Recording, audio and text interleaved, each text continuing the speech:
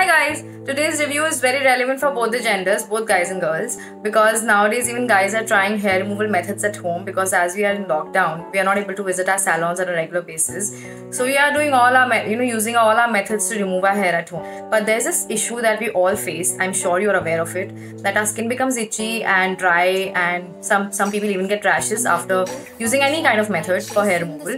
So often we apply some kind of lotion after that so that our skin soothes and everything but recently in this quarantine period as i had to uh, remove my hair myself i discovered this product which is specially meant for this after removing your hair by any method so this is uh, Neud's after hair removal lotion which is meant only for this to soothe your skin to calm it down and to just help you so that you don't uh, get any kind of rashes or allergies. So do try this. You can order it easily. I'll be mentioning more details in the caption. Thank you for watching guys. You guys are awesome. Bye.